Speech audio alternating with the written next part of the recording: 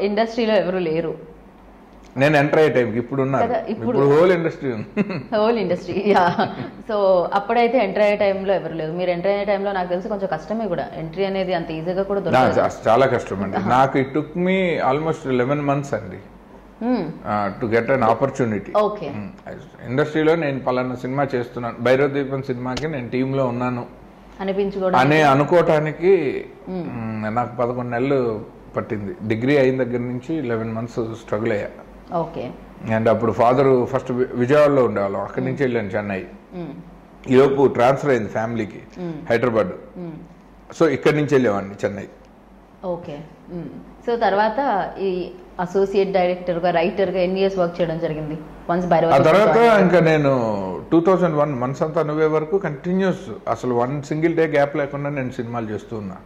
ఎక్కడ కూడా స్ట్రగుల్ అవ్వలేదు ఆ విషయంలో. సో ఆపర్చునిటీ అనేది ఫస్ట్ సినిమా చాలా వచ్చేయండి యాక్చువల్లీ నాకేమైందంటే ప్రేమ అంటే ఇదేరా సినిమా వెంకటేష్ హీరో బురుగుపల్లి శివరామకృష్ణ గారు అశోక్ బాబు. దానికి బిఫోర్ సినిమా జయంత్ గారిది బావ జయంత్ గారే ప్రేమ అంటే ఇదేరా కూడా. Director. ప్రీతి జింటాన్ని ఇంట్రడ్యూస్ చేసిన. సినిమా. దాని బిఫోర్ సినిమా బావగారు బాగున్నారు ఆ సినిమాకి స్క్రిప్ట్లో నా కంట్రిబ్యూషన్ నచ్చి చిరంజీవి గారు అందరికి చెప్తుండేవాళ్ళు. ఓకే ఇతను అంటే ఆయనకి డబ్బింగ్ థియేటర్లో కూడా నేనే ఉండేవాడిని. సో ఆయన మొత్తం సినిమా అంతా డబ్బింగ్ అంటే హీరో వస్తున్నాను కాదు. బేసిక్గా వర్క్ లాగే ఉండేవాడిని. పార్ట్ ఆఫ్ వర్క్ సో నేను స్క్రిప్ట్లో కూడా ఉండేవాడిని కాబట్టి నేను వర్క్ చేసిన సినిమాలన్నీ డబ్బింగ్లు నేను ఉండాల్సి వచ్చేది. సో అది నాకు చాలా హెల్ప్ అయింది. ఎందుకంటే హీరోస్ సెట్లో ఉన్నప్పుడు మనకి అంత ర్యాపో ఒక్కొక్కసారి ఉండదు. డబ్బింగ్ థియేటర్ ఎవరు ఉండరు. వన్ టు వన్ చాలా ఫ్రెండ్లీగా బాగా మాట్లాడుతుంది. అండ్ బేసిక్గా మ- నేను అసోసియేట్గా పనిచేసిన హీరోలందరూ చాలా మంచి అంటే ఎంత పెద్ద హీరోలైనా అంత చాలా డౌన్ టు ఎర్త్ ఉంది చిరంజీవి గారైనా బాలయ్య బాబు అయినా వెంకటేష్ బాబు నాగార్జున గారు వీళ్ళందరూ చాలా బాగుండేవాళ్ళు. ఆ టైంలో నాకు కూడా థ్రిల్ ఉండేది వీళ్ళతో పని ఎందుకంటే ఆడియన్స్గా చూసిన హీరోలతో వర్క్ చేయటం అన్నది ఎప్పుడు థ్రిల్ మన కళ్ళ ముందు ఇండస్ట్రీలోనే చూసిన హీరోతో పనిచేసినప్పుడు కంటే ఇది ఎక్కువ థ్రిల్ నాకు. నేను థియేటర్లో అడ్మైర్ చేసిన హీరోతో వర్క్ చేయడం కమల్ హాసన్తో చేశాను రజనీకాంత్ గారితో చేశాను. సో వీళ్ళతో చేయటం వల్ల ఏమైందంటే కాన్ఫిడెన్స్ వచ్చేసింది బాగా. అంటే నేను ఇంకా నెక్స్ట్ ఎవరితో చేసినా ఆ థ్రిల్ రాదు కాబట్టి నా వర్క్ నేను చేసుకోవచ్చు ఇంకా. సో అట్లా బావగారు బాగున్నారు ఆయన చాలా ఇండస్ట్రీ అందరికీ చెప్తుండేవాళ్ళు ఆయన. చివరి ప్రెస్ మీట్లో కూడా చెప్పేశారు. చెప్తే వాళ్ళు శివరంజని మ్యాగజైన్లో ఎవరి ఆదిత్య అని ఒక అసోసియేట్ డైరెక్టర్ గురించి మెగాస్టార్ ఎందుకు ప్రత్యేకంగా ప్రస్తావించాల్సి వచ్చిందని ఇట్లా ఒక చిన్న చిన్నది రాశారు. ఆయన ఇంటర్వ్యూ మొత్తంలో ఒక సెపరేట్ బాక్స్ లాగా. ఓకే. అదేమి ఎవరికి తెలియదు ప్లాన్డ్ కాదు. అండ్ ఆ సినిమాకి నాకు స్క్రీన్ ప్లే టైటిల్ షేర్ చేశారు పర్చూర్ బ్రదర్స్తో పాటు. ఓకే. దానివల్ల ఏమైందంటే ఇండస్ట్రీలో అందరికీ ఒక రికగ్నిషన్ వచ్చింది. అంటే ఇతను ఎవరి అంటే డెఫినెట్గా చిరంజీవి గారు చెప్పారు అంటే ఇంకా న్యాచురల్లీ వచ్చేస్తుంది. అంత క్రితం బాలకృష్ణ గారు చెప్పేవాళ్ళు. రోజా గారు చెప్తుండేవాళ్ళు.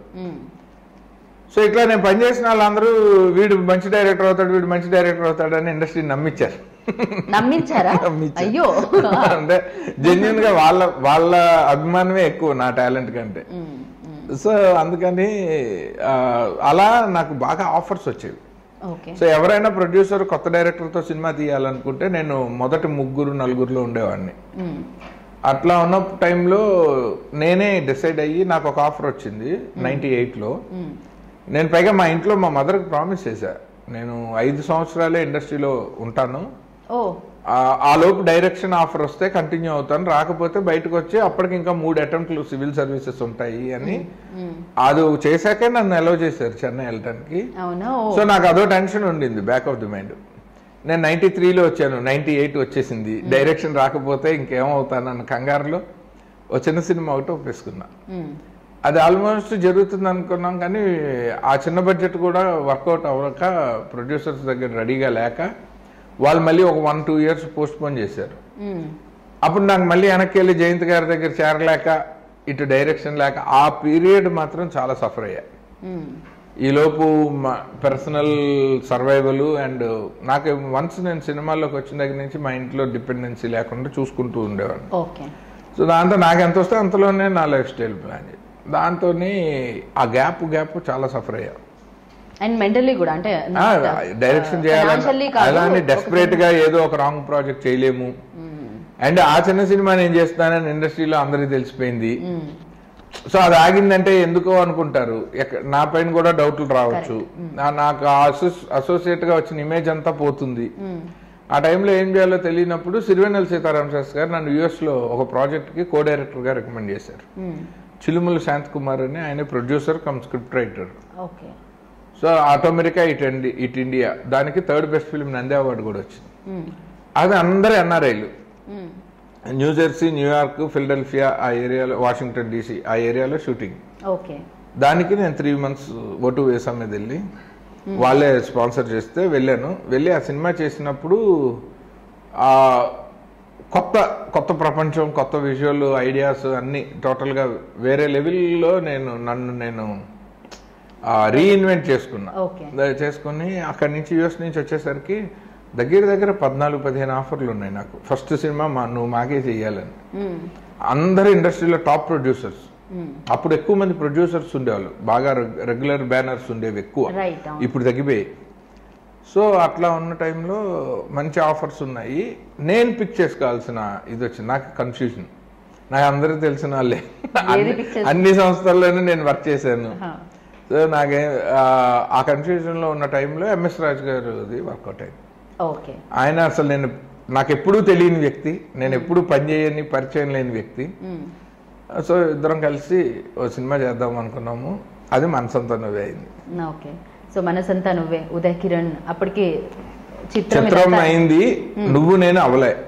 రిలీజ్ అవ్వలేదు రిలీజ్ షూటింగ్ కూడా అవ్వలేదు. Okay okay. మధ్యలో ఉండింది. జస్ట్ స్టార్ట్ చేశారు అంతే. బట్ మనసంతా నువ్వే కంటే ముందు నువ్వు నేనా లేకపోతే రిలీజ్ వైజ్ మనసంతా నువ్వే లాస్ట్ షెడ్యూల్లో నువ్వు నేను రిలీజ్ కదా అయింది నేను ముందు రిలీజ్ అయింది. రిలీజ్ ప్రకారం సో మనసంతా నువ్వే. ఉదయ్ కిరణ్ అసలు. అంటే ఒక రకంగా చిత్రంతో సూపర్ క్రేజ్ వచ్చేసిన అబ్బాయి ఆ టైంలో కానీ ఈ సినిమాకి పెట్టుకోవడం. ఎందుకంటే మీకు నాగార్జున గారు బాలకృష్ణ గారు ఇలాంటి మీరు ఇందాక అన్నట్టు ఫస్ట్ సినిమా లవ్ స్టోరీ అవ్వాలని నేను ఎందుకో బలంగా ఫిక్స్ అయ్యానండి. కొత్త వాళ్ళతో చేయాలి. అంటే చిన్న అసలు క్రేజ్ అసలు అవి ఎప్పుడూ లేవు. నా కమర్షియల్ క్యాలిక్యులేషన్స్ లేవు. అంటే ఒక సినిమాకి వచ్చేసరికి సినిమాలో ఉన్న కంటెంట్ కమర్షియల్గా ఎలా ఉండాలో తెలుసు కానీ సినిమా తీయటానికి వీళ్ళు ఉండాలి ఇంత డబ్బు కావాలి ఇట్లాంటివి తెలియవు. కానీ ఇప్పుడు అన్ని అదే క్యాలిక్యులేషన్స్ కదా. అది ఎన్నో ఎన్నో రోజులు సస్టైన్ అవ్వదు. క్యాలిక్యులేషన్స్ ఉంటాయి దాని మీద ఎక్కువ కాలం సర్వైవ్ అవ్వదు ఇండస్ట్రీ ఆడియన్స్ కూడా చూస్తూనే ఉంటారుగా కొన్ని రోజులు భరిస్తారు కానీ. కానీ మధ్యలో టూ థౌజండ్ ఫైవ్ ఆ టైం నుంచి చూస్తే ఓన్లీ కాంబినేషన్స్ అండ్ క్యాలిక్యులేషన్స్ మాత్రమే ఇండస్ట్రీ బట్ నడిచింది మీరు మళ్ళీ టూ థౌజండ్ ఫిఫ్టీన్ నుంచి చూడండి అది పోయింది. టూ థౌజండ్ ఫిఫ్టీన్ నుంచి లేదు. తర్వాత నుంచి మొత్తం కంటెంట్ ఓరియంటెడ్ వచ్చేసింది. రైట్ సో అందుకని నాకు ధైర్యం. ఎప్పుడు ఆ, నేను అంటే ఇండస్ట్రీలోకి రాకముందే నేను చాలా రీసెర్చ్ చేసుకుంటుండేవాడిని. డిగ్రీలో ఉన్నప్పుడు ఇంటర్లో ఉన్నప్పుడు అందరు ఇంటర్వ్యూలు చదివేవాడిని. ఎవరెవరి కెరీర్ ఏ ఏ ఫేజ్లో డ్రాప్ అయ్యి మళ్ళీ పికప్ అయింది. ఏ సినిమాతో పడిపోయారు? ఎందుకు పడ్డారు? అన్ని క్లోజ్గా చదువుతూ ఉండేవాడిని అందుకే నాకు ఇండస్ట్రీలో ఎవరు కొత్తగా ఉండరు. అంటే వాళ్ళు నాకు వాళ్ళు పుట్టినప్పటి నుంచే నాకు తెలిసినట్టుంటారు. డెఫినెట్ ఒక మనిషి గురించి తెలుసుకుంటే అదా అందులో మనకు తెలియని ఇండస్ట్రీకి వస్తున్నాం కదా. నేను ఒక బ్యాక్గ్రౌండ్ రీసెర్చ్ అనాలిసిస్ లేకుండా నేను రిస్క్ తీసుకోదలుచుకోలేదు. సో అందుకని నేను మిగిలిన అంటే నాకున్న failures కి అసలు నేను ఇండస్ట్రీలో ఉండక్కర్లేదు యాక్చువల్గా అండ్ మీకు మొహమాటం కూడా చాలా ఎక్కువ అని విన్నాం మేము. మొమాటం బాగానే ఉండింది. అంటే ఐ కాంట్ సే నో నాకు మీ దగ్గర డబ్బులు లేవు అయినా సినిమా తీయమంటే నేను తీయనండి అనలేను? అది ఆలోచించు? తర్వాత నేనైనా పెట్టేస్తాను. అలా ఇరుక్కున్నదే ఎక్కువ అందుకే ప్రొడ్యూసర్ బలవంతంగా మార మన్మధుల్లో బ్రహ్మానందం పెళ్ళి చేసుకోవాల్సి వచ్చింది అంటాడు అట్లా మీరు ప్రొడ్యూసర్ అవ్వాల్సి వచ్చింది అవ్వాల్సి. వచ్చింది, అట్లా. ఓ అయితే మీరు ప్రొడ్యూసర్ నాకు అసలు అసలు నాకు ఎప్పుడు ఇంట్రెస్ట్ లేదు. నేను ఎందుకంటే నేను నేను- మీరు యాక్ట్ చేయాలనుకోండి మీరు రెమ్యూనరేషన్ ఎంత అని అడగలేను నా లైఫ్లో అడగను ఇంకెందుకు ప్రొడ్యూసర్ అవుతాను నేను ప్రొడ్యూసర్ అయ్యాక అడిగారా? అసలు ఎవరిని అడగలే వాళ్ళు అడిగితే ఇవ్వటం లేకపోతే లేదని ముందే చెప్పేయటం. అయితే బాగా తెలిసిన వాళ్ళైతే నేను అసలు ఏమి ఇవ్వలేను ఇష్టమైతే చేయండి కష్టమైతే పర్లేదు నేను వేరే ఆల్టర్నేట్ చూసుకుంటానని ముందరే చెప్పేస్తా. పాప నా మొహం చూసి ఎక్కువ మంది నేను చెప్తున్నాక వాళ్ళ అభిమానమే నేనే నేనేం కాదు. సో వాళ్ళు అలా ఇష్టం కొద్దీ చేసిన వాళ్ళు ఉన్నారు. తిట్టుకున్నా చేసిన వాళ్ళు ఉన్నారు ఇంకా తప్పక చేసిన వాళ్ళు ఉన్నారు. అండ్ ఉదయ్ కిరణ్ గురించి మాట్లాడితే అండ్ అప్పుడు ఎంఎస్ రాజు గారు కూడా ఓకే చేయడం జరిగింది ఎందుకంటే బిగ్గెస్ట్ ప్రొడ్యూసర్ అప్పుడు ఆయన. ఎంఎస్ రాజు గారికి యాక్చువల్గా అప్పుడు ఆయన నేను చెప్పిన తర్వాత మన నువ్వు నేను ఎడిటింగ్ రూమ్లో రషెస్ చూశారు ఆయన తేజ గారిని అడిగి. ఓకే. చూసి ఆయనకు కూడా నచ్చాడు. నచ్చి అప్పుడు నాకు ఉదయ్ కిరణ్ చిత్రం సినిమా రిలీజ్ రోజు పరిచయం. అండ్ ఎంఎస్ రాజు గారి గురించి కూడా అంటే కొంచెం స్క్రిప్ట్లో ఇన్వాల్వ్ అవుతారు అని మేము ఏదో విన్నాము. హండ్రెడ్ పర్సెంట్ అవుతారు. ఏ ప్రొడ్యూసర్ ఎవరు చెప్పండి. ఆ ఇన్వాల్వ్మెంట్ ఆ ఇన్వాల్వ్మెంట్ డైరెక్టర్ని కొంచెం అంటే డైరెక్టర్ కొంతమంది డైరెక్టర్స్ కాదండి మీరు డబ్బులు పెడుతున్నారు. మీరు దేనికి పెడుతున్నారో మీకు తెలియకూడదు అనే రైట్ నాకు ఎట్లా ఉంది? రైట్ ఆ తప్పే కదా. ఎవరెవరు? ఇప్పుడు సురేష్ బాబు అవ్వకుండా సినిమా ఎవడైనా చేయగలిగే ఇండస్ట్రీలో రాసిస్తా. శ్యామ్ ప్రసాద్ రెడ్డి గారు అవ్వకుండా చేయగలిగారా?